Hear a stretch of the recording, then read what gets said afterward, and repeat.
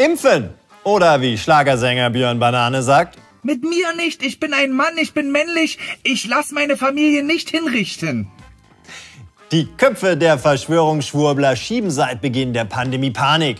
Allen voran Typen wie Xavier Naidoo. Der hat gerade mit diversen Rechtsextremen und Verschwörungstypen ein Lied rausgebracht gegen die Corona-Impfung. Es kann gar nicht sein, dieses Gift kommt niemals in unsere Körper rein. Die Geschwister und ich, wir wagen den Schritt, wir machen nicht. Mach Mensch, gemütliches Fahrrad. Denn wir alle wissen, zur Weltrevolution kommst du. Mit dem Rad, mit dem Rad, Kamerad, mit dem Rad, Kamerad, geht's hinaus. Und schon vor Monaten hat der Soul-Schwurbler in einem Interview mit Eva Hermann gesagt, Niemand wird sich impfen lassen, da wird es Mord und Totschlag geben, bevor das passiert. Niemand wird sich impfen lassen?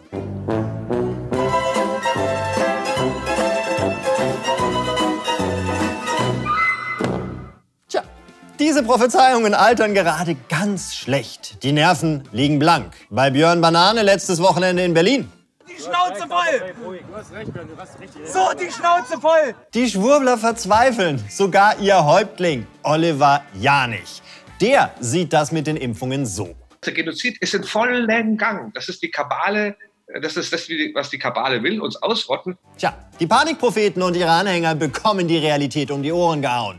Wer fliegt gerade besonders schön auf die Schnauze? Welche Verschwörungsvorhersage entpuppt sich als die dümmste? Und warum bleiben die Schwurbler trotz Auflösungserscheinungen leider gefährlich?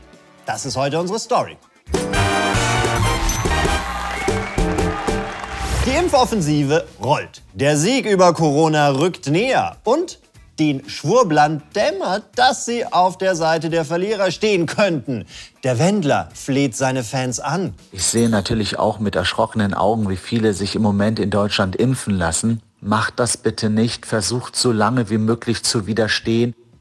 Ja, sorry Wendler, die Mehrheit der Deutschen findet halt Impfen. Echt cool. Über 30 Millionen Menschen haben in Deutschland mittlerweile ihre erste Impfung gegen Corona bekommen. Zwangsläufig kommt das Thema so auch im Umfeld der Verschwörungsideologen an. Ich habe so viele Berichte bekommen von Leuten, die gesagt haben, meine Schwester hat sich impfen lassen, mein Bruder, mein Vater und so weiter. Alles Leute, die noch vor einem halben Jahr gesagt haben, auf gar keinen Fall lasse ich mich impfen. Leute, die zum Teil seit zehn Jahren in der Wahrheitsbewegung sind. Die Verschwörungsszene wackelt. Und das ist schon sehr unterhaltsam. Doch der kleiner werdende Teil der Schwurbler wird dafür immer gefährlicher. Aber fangen wir an mit den dümmsten Verschwörungsvorhersagen der letzten Monate. Los geht's mit dem Märchen vom Genozid. Was haben die Schwurbler nicht alles prophezeit beim Thema Impfen? Fragen wir doch mal Attila Hildmann. Was wir hier erleben, ist ein Völkermord, ein Genspritzen-Genozid. Oh ja, das war unser persönlicher Platz 1 in unseren Charts. Genspritzen-Genozid. Genspritzen-Genozid. Genspritzen-Genozid. Aber keine Sorge, millionenfacher Mord mit Impfspritzen, das lassen die Leute nicht mit sich machen. Hat einer von Hildmanns Kumpels versprochen. Xavier Naidoo auf einem der vielen Schwurbler-Kanäle. Was nicht gehen wird, ist, dass man sieben Milliarden Menschen gegen ihren Willen impft. Das wird niemals passieren. Deswegen, die haben eigentlich schon verloren. Der Plan ist aufgeflogen, es ist verloren.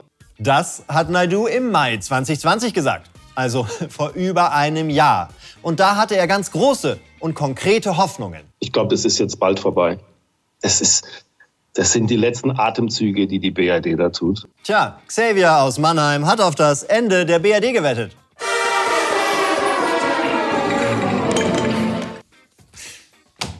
Aber die Angst muss immer hoch bleiben. Und da kommt wieder Hirse Hitler Hildmann ins Spiel. Er erklärt, was passiert, wenn der große Aufstand kommt. Sie wollen Europa und Deutschland so massiv schwächen auf allen Ebenen, dass hier bürgerkriegsähnliche Zustände ausbrechen, dass die Menschen in bitterer Armut und Not leben, damit die chinesische Armee in Europa einfallen kann. Also bitte, wer bürgerkriegsähnliche Zustände in Deutschland will, der muss einfach einen Fake Thermomix bei Aldi anbieten. Und Der Schwachsinn hört einfach nicht auf. Also, er sagt hier, erst nimmt uns die Regierung die Grundrechte weg, um uns zur Impfung zu treiben. Mit der sollen wir dann alle umgebracht werden. Wenn wir uns gegen diesen Genozid dann aber wehren, kommen auch noch die Chinesen und übernehmen den ganzen Laden. Und ich warte immer noch drauf. Wo ist denn jetzt dieser Bürgerkrieg? Wo ist denn dieser scheiß Bürgerkrieg? Ich brauche einen Vorwand, um Jonas zu erschießen. Er stellt immer so scheiß Essen in den Kühlschrank. Das war schon mal nix. Aber was ist mit den Mikrochips im Impfstoff? Es war eine richtig schön gruselig schwurbelige Vorhersage. Wir sollen alle von der Regierung versklavt werden. Mit einem Mikrochip. Den bekommt jeder mit der Corona-Impfung gespritzt. Auch da wurde Xavier ganz konkret. Den wunderschönen äh, Chip, der uns schon aus der, aus der Offenbarung bekannt wurde, äh, bekannt gemacht wurde, in die Haut einzusetzen. Da wurde man ja jahrelang für als Verschwörungstheoretiker verschrien und ausgelacht. Und jetzt ist es ganz normal. Ja, lieber Xavier, alles nicht eingetreten. Und wegen deiner Chip-Theorie sind jetzt hier vier Leute aus dem Team im Studio plus Leo, die dich verschreien und verlachen. Ha, ha, ha, ha, ha, ha, ha, ha, ha, ha, verschrien. Musikalisch auf Querdenkerniveau. Aber das sind ja nicht einfach irgendwelche Chips. Mit denen sollen wir alle fremdgesteuert werden. Hildmann weiß da mehr. Wer glaubt eigentlich wirklich, dass die Impfung in ein paar Monaten zusammengeschustert wurde und nicht wirklich über mindestens zehn Jahre entwickelt wurde für die NWO, Nanobots, 5G? Und jetzt sind die Chips wirklich da. Das sollen auf jeden Fall viele Videos zeigen. Die werden massenhaft von Naidu, Hildmann und so weiter geteilt. Die Story ist immer die gleiche. Jemand hat gerade eine Impfung bekommen und dann passiert das Unglaubliche mit einem Magneten. COVID jab number two. What the actual fuck? Mit einem Mikrochip im Arm bleibt der Magnet hängen. Hm. Nur, die Reaktionen fallen anders aus als erwartet. Wir haben hier einen Magneten, also das, das ist das Magnet. Und jetzt seht, was seit meiner Impfung passiert ist. Schreibt in die Kommentare, was ihr davon haltet. Und seid ehrlich. Tja, also nur Kleber und keine magnetische Wirkung. Den Trick der Schwurbler hat der Kriminalbiologe Mark Benecke schon vor ein paar Jahren beschrieben. In einem Erklärbuch für Kinder. Immer dann, wenn es schräg, schwabbelig, ein bisschen klebrig und feucht ist, dann haftet egal welcher Gegenstand an euch. Wer hat davon mal gehört? Wahrscheinlich keiner. Ha! Ha, tja, und irgendwie hält sich die Impfpanik bei den allermeisten in Grenzen. Und auch was 5G in der Impfung betrifft, scheitern die Schwurbler. Stattdessen auch hier nur Häme. Entschuldigung, ich habe dich leider nicht verstanden. BioNTech, mach das Licht an. Geht doch ein paar andere Schwierigkeiten. Scheiß 5G.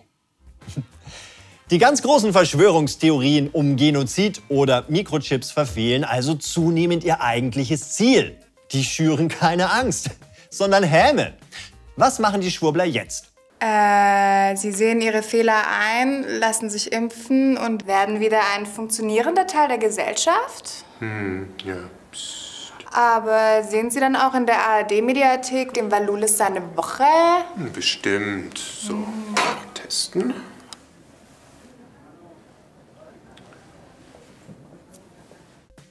Hm. Nun, die andere Möglichkeit, die Verschwörungstheorien weiterentwickeln und an die neuen Gegebenheiten anpassen. Jetzt heißt es zum Beispiel, Geimpfte sind ansteckend. Das ist die jüngste Warnung aus der Schwurbler-Ecke. Mit was genau Geimpfte ansteckend sein sollen, bleibt oft unklar. Aber das Ziel ist ja eh erstmal Verunsicherung. Na, schon geimpft? Dann bleib bloß weg. Wer weiß, was sie dir gespritzt haben. Die schreiben das normalerweise immer in den Impfpass. Das ist so ein Reklamheft der Abwehrkräfte. Auch die beliebteste weibliche Schwurblerin aus Deutschland, die jetzt in Kanada lebt, springt drauf auf. Eva Herrmann, hier zu sehen laut Ehemann als ganz fesches Kätzchen. Die war mal Tagesschausprecherin. Dann aber fand sie eine andere Idee besser. Rechten Verschwörungskram verbreiten. Zum Beispiel, Menschen werden erst durch die Impfung überhaupt zu einer Gefahr für andere. Durch die Herleitung der Impfstoffe von Viren selbst werden Geimpfte plötzlich zu Überträgern, sagt Professor Bhakti über die Auswirkungen der Impfung. Hm, deshalb sagen Fachleute auch. Mit mir nicht. Ich bin ein Mann, ich bin männlich. Okay, immerhin zitiert Eva Hermann hier einen Professor. Kurze Zeit später ruft dieser Professor Bhakti dann aber bei Hermann an und lässt über sie dann das verlauten. Richtigstellung! Diese Aussage, dass Geimpfte infektiös sind für andere, stammt nicht von mir. Und ich habe klargestellt, dass ich davon Abstand halte, weil mir keine wissenschaftlichen Daten bekannt sind, welche diese These unterstützen würden.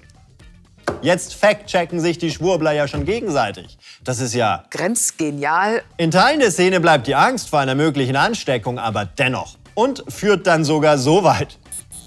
Maskenverweigerer wollen anfangen, Masken zu tragen, um sich vor Geimpften zu schützen.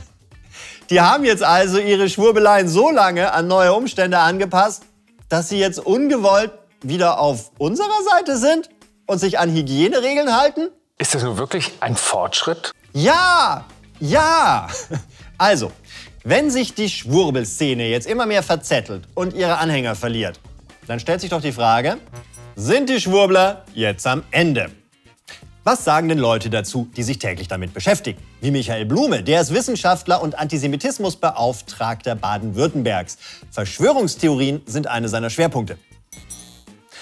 Die Verschwörungsbewegungen sind erst einmal besiegt. Bei Verschwörungsideologien wie QAnon und den sogenannten Querdenkern sind wir inzwischen in einem Stadium des Verfalls angekommen. Juhu, Buddy! Trink mal nur Flasche, trink mal nur Flasche. Aber natürlich musste unser Redakteur noch persönlich bei genau diesem Verschwörungsexperten nachfragen, wegen Journalismus und so. Eine Verschwörungsbewegung ist leider dann am gefährlichsten, wenn sie gerade zerfällt. Also doch keine Party. Denn die Schwurbler sind ausgerechnet jetzt so gefährlich wie nie. Michael Blume erklärt das so. Stellen Sie sich vor, Sie haben Monate Ihrer Zeit, Sie haben viel Geld rein investiert, haben Beziehungen, Freundschaften an die Wand gefahren und dann soll plötzlich alles falsch gewesen sein? Klingt für mich äh, wie ein normales World of Warcraft-Abo. Wenn du also ehrlich geglaubt hast, ein Impfgenozid kommt und jetzt siehst du, er kommt doch nicht, das klingt belastend. Oder, wie Blume sagt, Die Leute erleiden richtig Schmerzen und in der Phase müssen sie sich entscheiden, werde ich wieder vernünftig oder setze ich noch einen drauf. Und das ist dann genau die Phase, wo die Leute am gefährlichsten sind. was machen die jetzt ohne Corona-Diktatur und China-Invasion? Nun, die suchen sich das nächste Thema. Oder gleich alle Themen auf einmal. Baerbock ist keine Grüne. Sie ist eine grün lackierte Kommunistin, soll Kanzlerin werden und dir dann die dritte Spritze verpassen, Krieg gegen Russland beginnen und Klimalockdown ausrufen. Meine Fresse! Also diesmal ist das die Bedrohung? Genossin Anna-Lenin Berja-Bock. Was meint ihr? Sind wir die Mehrheit der Schwurbler bald los? Machen die auch noch in Zukunft Ärger? Oder setzt ihr den Aluhut auf und sagt nur, Die Schnauze voll! und wer auch noch so richtig die Schnauze voll hat? Die Macher dieses Protestvideos gegen einen angeblichen Impfzwang für Kinder.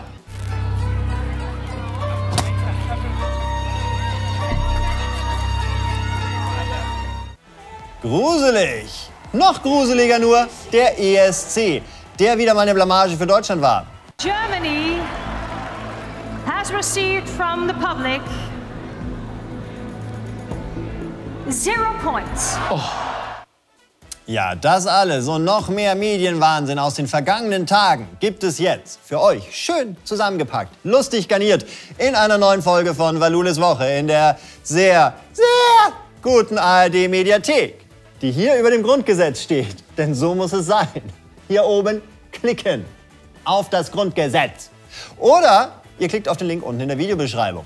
Tja, und äh, jetzt entschuldigt mich, ich muss meinen Impfausweisfälscher im Stadtpark erwischen.